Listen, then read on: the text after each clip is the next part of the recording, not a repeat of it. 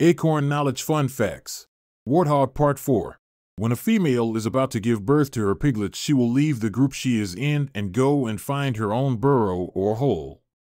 She will remain here for six to seven weeks with her young and only leave for short periods to graze, less than usual.